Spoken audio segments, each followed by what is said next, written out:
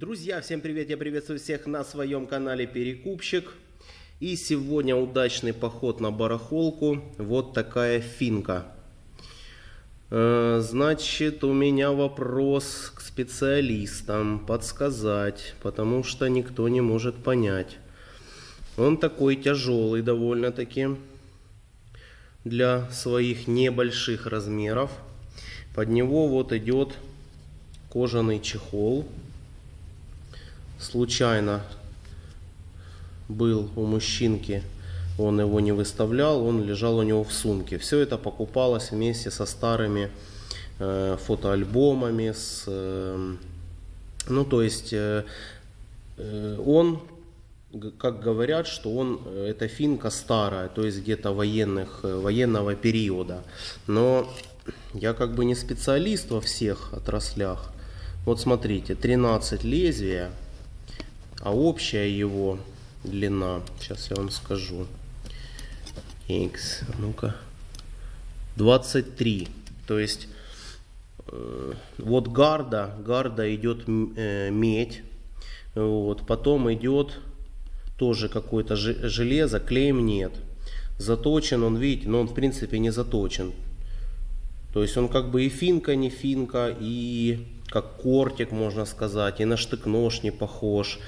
То есть вот очень похож на такой вот немецкий, скажем, типа, знаете, как диверсионный офицерский какой-то нож.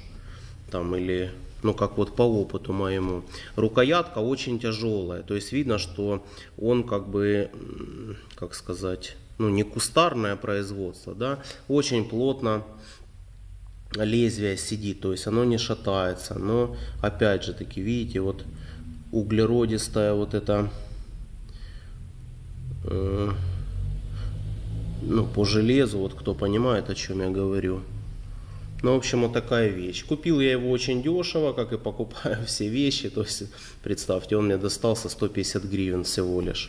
Я считаю, это вообще копейки. То есть, кто может, подскажите. Буду очень признателен. Может быть, кто-то у меня купит за нормальную цену его. Вот. Ну, то есть, то, что это не самоделка однозначно, приятно в руке лежит. У меня лапа здоровая, но как бы э, одному, один говорит штык-нож, ну какой нахрен это может быть штык-нож, другой говорит там еще какую-то непонятную версию, ну, как-то, так это специалисты по ножам, я это, наверное, больше знаю.